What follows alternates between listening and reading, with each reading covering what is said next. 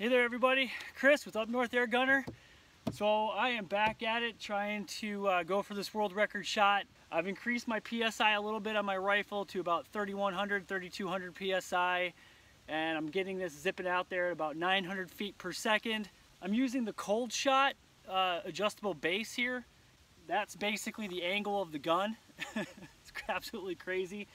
I can barely see the target. I'm almost like looking through the barrel. Um, with the parallax adjustment set pretty much at infinity, I'm using the, uh, the blurriness of the barrel to actually act as a reference point to make sure I've got everything lined up. So the last 20 shots I've taken, I've either hitting right at the beach or on the beach.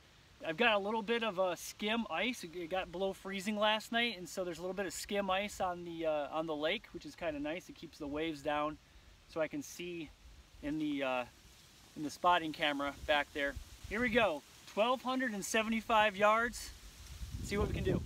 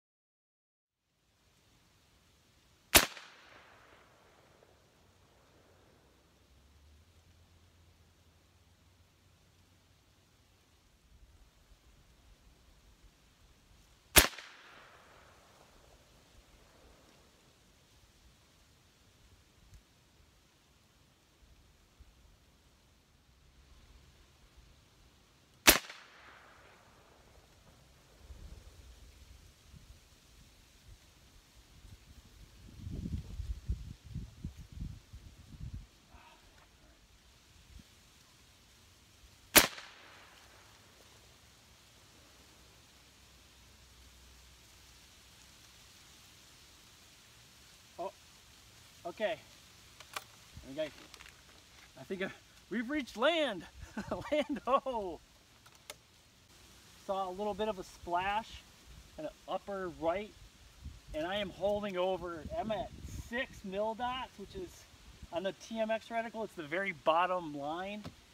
Um, so I am actually holding just about as much as this scope will allow for.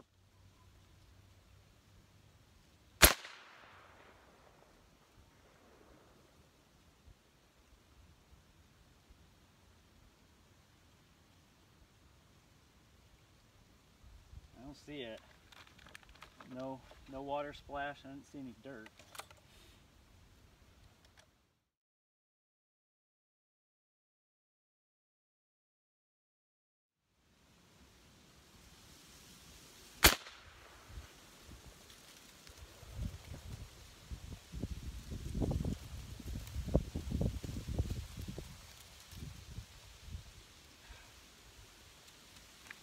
Assuming I'm getting to land because I'm not seeing any water, but I'm not, I'm not seeing any dirt. The sun has definitely gone away for the winter, so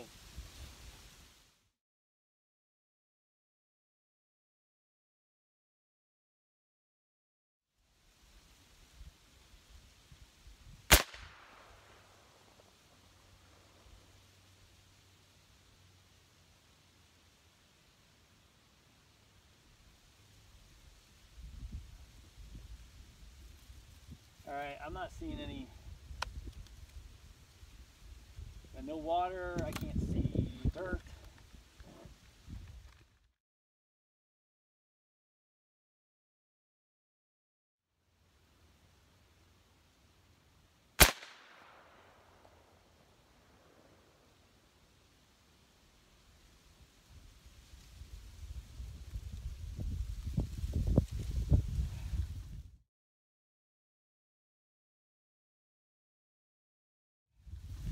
Okay, I can't I can't see anything. All right, well I'm gonna I'm gonna review the scope cam, the scope cam footage.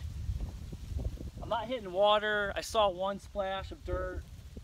I'm assuming I'm hitting I'm hitting land, so um, I'm gonna check the scope cam, see how we're looking. Okay, so I reviewed the scope cam footage and I'm definitely hitting. I was able to uh, zoom in on the scope cam footage and I hit upper right. I hit once to the left. Um, I think I actually hit a couple more times up there. I wasn't able to catch it all on the, uh, I wasn't able to see it, but I, I not, I'm not seeing any water. So, and actually two shots came really, really close.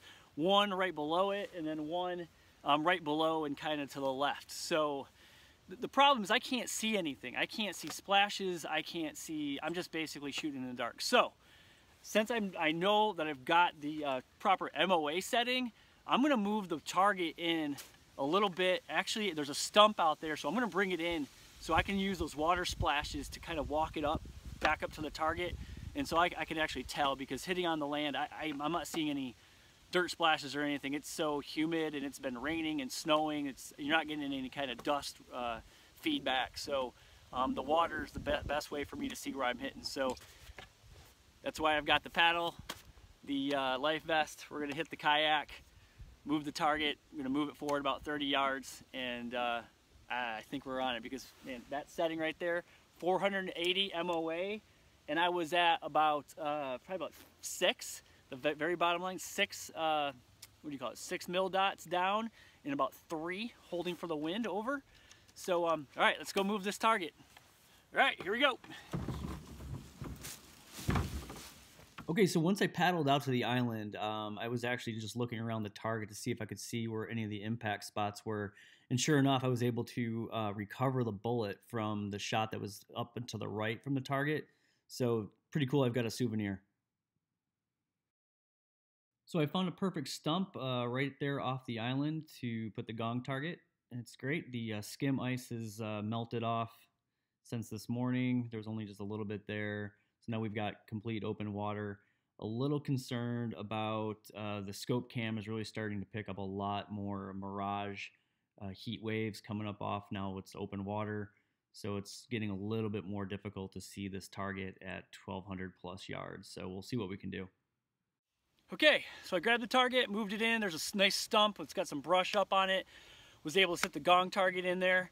And uh, so it's about probably 30 yards closer than it was before. We'll, we'll pull out Google Earth and we'll uh, calculate the true distance. So, um, so anyway, 480 MOA on the base. I'm at six uh, mil dots. I'm gonna try to probably, I'm gonna start right at zero and I'm gonna start walking it in there on these shots.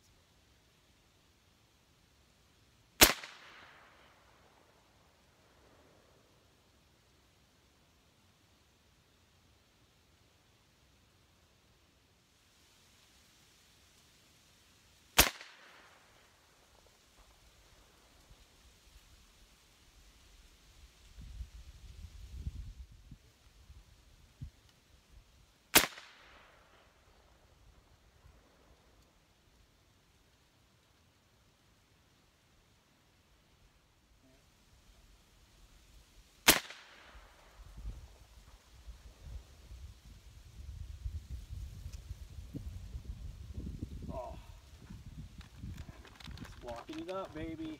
Come on.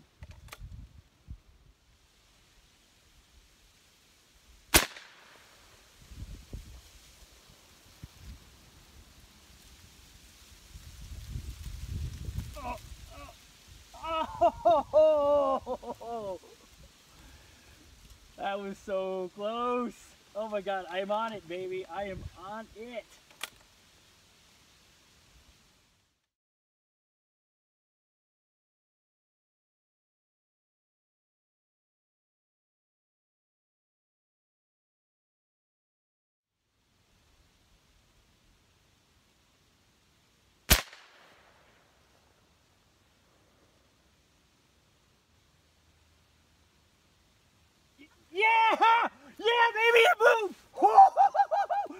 I saw it move. Oh my God, I freaking saw it.